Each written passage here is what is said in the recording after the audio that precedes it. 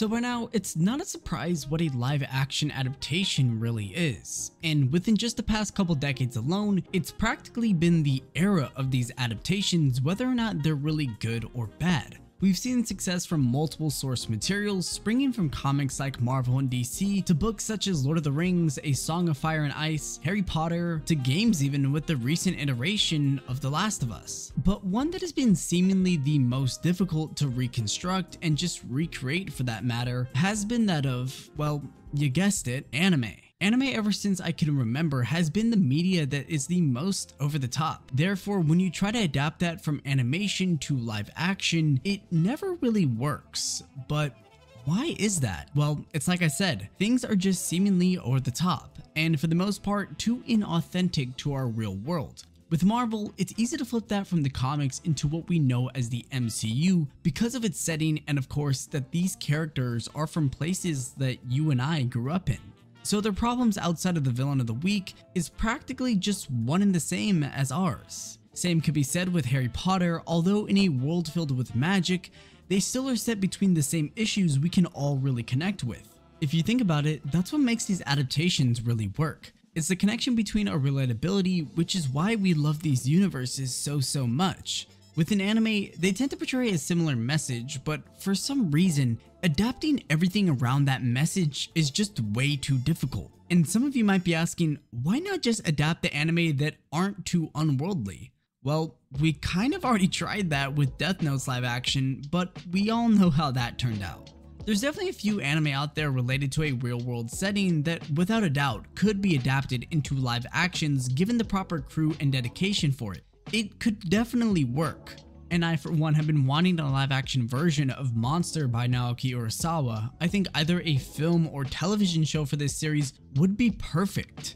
And to be honest with you, that's the key to it all. Having that synergy between your cast and crew is what's one of the most important aspects that a lot of people just seem to leave out. But it's been without a surprise that recently the One Piece live action has been a huge success. And I know I just went on about how it's already hard enough adapting the more realistic animes into live action. So why in this world would I be going on about the success of One Piece and its grand world if these grounded anime can't even do their adaptation right? Well, if you know anything about One Piece, you would know that it's not even remotely close to what the real world represents from a visual perspective. Although, from the very start of this production process, it has been that of a passion project, and the synergy between not only the showrunners of the project, the cast and crew, but most importantly, even Eiichiro Oda himself made it a goal of theirs to bring the world of One Piece to the general public. Obviously, we all know just how successful the franchise of One Piece is, being the biggest selling manga of all time, but that's just it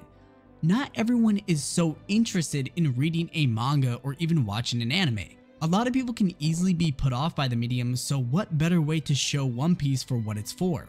And that's why we're here today, with the live action adaptation. A lot of the general eye is going to be a lot more inclined and just more interested for that matter to check out a series that's more realistic. That's just how regular people would like to consume their media which is fine, and it's entirely why the people behind this adaptation decided to tackle this challenge. Because for one, like I said, it's already difficult enough to adapt these other series. What makes you think that One Piece would be any different? And to tell you the truth, it's not that this series is the odd one out of the bunch. If anything, this is probably one of the most jarring series to tackle when transferring it to a live action adaptation.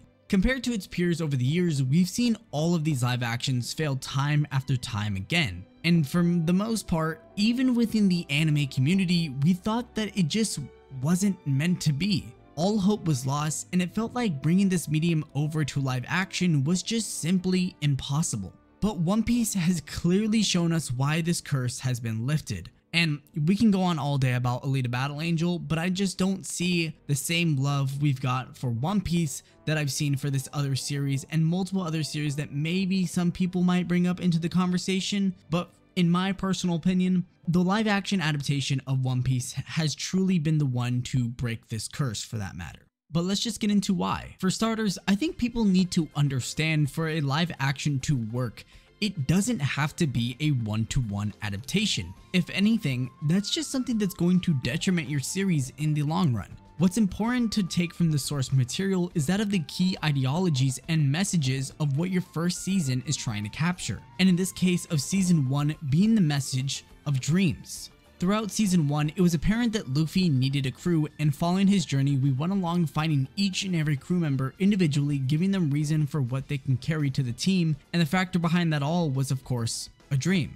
Zoro becoming the greatest swordsman, Usopp becoming a brave warrior of the sea, Sanji finding the all blue, Nami creating a map of the world, and of course, Luffy becoming the king of the pirates. And for my manga readers out there, we know that that's not the only one. Dreams were a huge part about the East Blue saga, and in terms of transferring that message from paper to the big screen, I think us fans can all collectively agree that was done just right. So compared to all these other live action series, these were never really done right, in my opinion for the most part, and instead, they would try to push their own message instead of paying homage to the source material.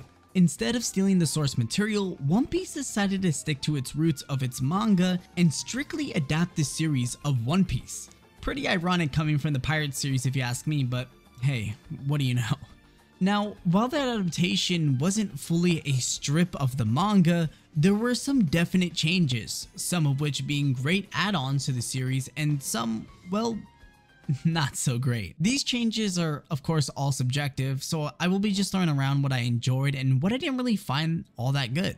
For one, I think Zoro's new introduction on Six's Island was the perfect way to not only introduce Zoro's character, but also to set up future plot points moving forward into Season 2 with the Baroque works. That along with honestly anything Buggy related. I think overall Jeff Ward's performance as Buggy was spot on, if not improved upon to his character, and even certain dialogue discussions between characters that improved on character chemistry. For example, I loved both Zoro and Nami's interactions together, I would have never before really paired them together in the manga in terms of character chemistry, but something with Emily Rudd and Mackenyu and their chemistry just brought those characters further in my eyes. The Baratie overall was just a great mix of adding and taking out attributes that did contribute much in the manga for myself personally. I think the live action did not to say handled it better, but definitely cut out what needed to be cut. In general, the live action brought more to the table in terms of early on world building within the series, and already, One Piece is a heavy world building driven series, so for them to continuously throw in easter eggs for us fans, it wasn't just beneficial for us, but it was beneficial for the world building of the live action series. A win-win at that. It goes without saying the score was also in a league of its own creating a new identity of One Piece but also filling the vibe for the series overall. But I think where this live action succeeded most though wasn't to per se say that it followed Oda's path, but trained in his footsteps. This live action quite literally birthed its own identity while paying its respect to the source material. Yet, even with its own identity, not every change is going to be for the best. So let me get into the ones and the changes that I just didn't solely think were the best. And to point out a few, even with these changes being made, I think it's solely because I am a anime and manga reader of the series, but the whole Garp, Koby, and Helmeppo side plot wasn't necessarily bad. But I think because I am a reader of the series, it just felt off-putting. But I kind of understand why it was added, especially considering this is a television show, and at the end of the day, this is just a common trait used in TV to push the narrative forward without glazing over the main plot too much. Needless to say, these were some characters that just weren't really the characters we expected. Again, not to say these were completely bad changes. I don't think anything in this live action was a complete bad change. It just felt off because of myself being a manga reader. So other characters like Luffy and Usopp, just because of how ridiculous their characters are in the manga, there was something about it that just kind of felt off. And I think with time we can see how this forms more into its own identity, which it kind of already has, I'm just not really used to it yet. It goes without saying though that after over two full watch throughs of this adaptation, it's for certain it was a success overall. Not just by the rest of, you know, you guys and I, but by Netflix as well. One Piece has finally broken the curse of live actions and has been confirmed for a second season. And people actually enjoyed it. And I'm glad that it just wasn't myself because I've been following the project since day one, but to see how far it's come is honestly a dream come true in of itself. Now, with this second season though, we can easily expect bigger and better things. Not to say we didn't already have the budget of Game of Thrones, but this only means that this adaptation was successful enough on its own to continue forward in the eyes of everyone. The live action accomplished its goals and now everywhere, people are consuming the series for probably their first time after watching the live action and experiencing what One Piece really has to offer. Even if this was a one-time thing, it still accomplished its goals, but now since we can see that the adventure will continue on, who knows what this live action will become. With the second season underway, who's to say there won't be more to come? It's obviously only going to get more difficult with more seasons to come through, that's only for certain. But the sea is really the limit for the grand adventure they're about to embark on and personally, I'm just glad it was with One Piece because if there's any series out there where people like you and I want to see this world come to life, why shouldn't it be with One Piece? Where all it really starts from is with a dream.